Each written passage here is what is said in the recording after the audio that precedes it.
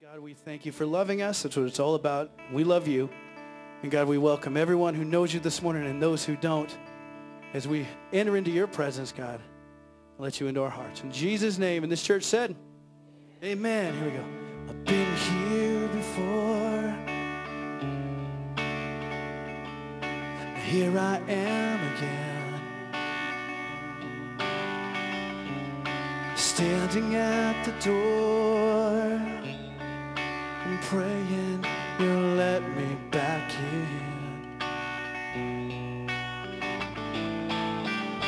To label me a prodigal would be only scratching the surface of who I've been known to be.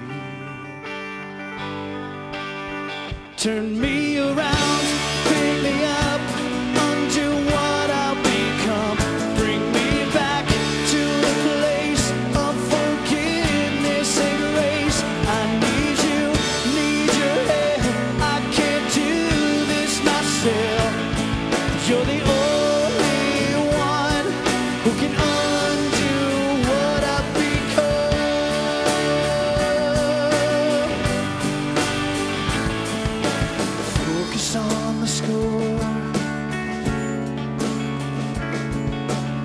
I can never win. Trying to ignore a life of hiding my sin.